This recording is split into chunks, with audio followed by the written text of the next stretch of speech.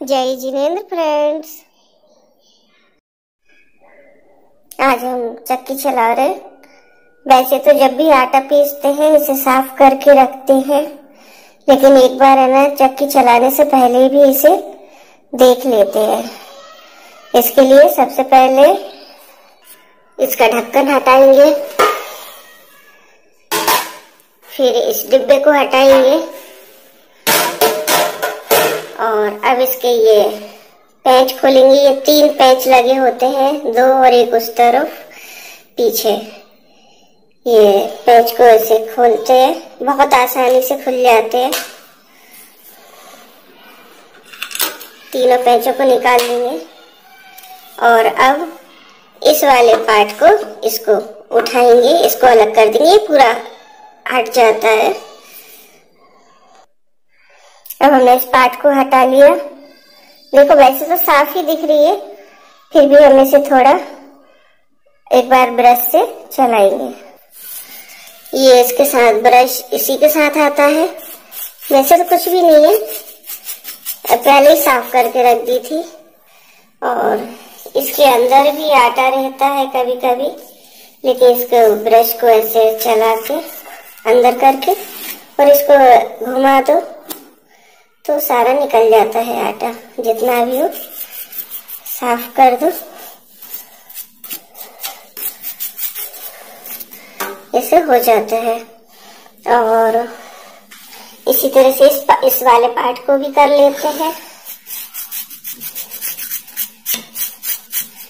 इसमें जीव जंतु कभी कभी गर्मियों में चीटियाँ हो जाती है। कुछ भी हो तो पता चल जाता है। हमेशा हमें, हम हमेशा ऐसे ही करते चलाने से पहले एक बार देख लेते हैं। और अब इस पार्ट को इसी के ऊपर रख देंगे। हमने इसको पार्ट को रख दिया इस पे। और ये इसका मुँह रहता है, इसके अंदर भी साफ़ कर लेते हैं, ब्रश डाल के। अभी तो कुछ भी नहीं है। और ये पार्ट पूरा घूम जाता है। अभी पैच नहीं लगाए उसके। उससे पहले आप अपनी सुविधा के अनुसार इसको जिस तरफ़ इसका मुँह करना है, वहाँ कर सकते हैं। हमें इससे सही रहता है इसका, क्योंकि इधर सामने ये बटन हो जाते हैं चलाने के लिए। तो ये ऑन ऑन और ऑफ़ का बटन होता है।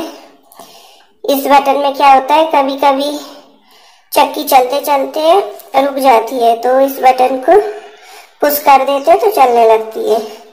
और इस बटन में ऑन होने पर लाइट जलती है। तो हमने इसको ऐसे कर ली।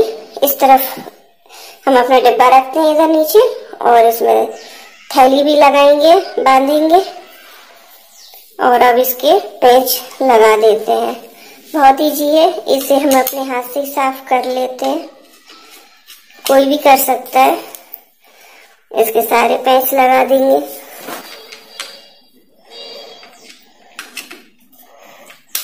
पहले ऐसे फंसा लेंगे और अब टाइट कर देंगे सारे पेच को। अच्छे से टाइट कर देंगे। जब सारे पेच टाइट हो जाए। इसमें ये लीवर होता है इसका, इसको लीवर बोलते हैं। इससे आटा कितना बारीक करना है अपन को, उतना घुमा देते हैं। जितना बारीक करना है, उतना कर सकते हैं।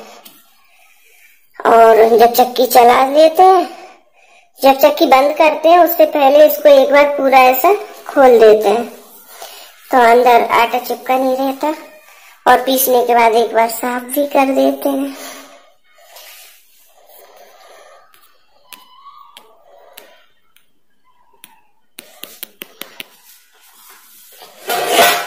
और अब इसको ये डिब्बा लगा देंगे इसका। अभी ढक्कन लगाना नहीं है, क्योंकि अभी हम आटा पीसेंगे। अब हमने इसमें थैली बाँध दी और अब ये चक्की चलाने के लिए रेडी है। Thanks for watching friends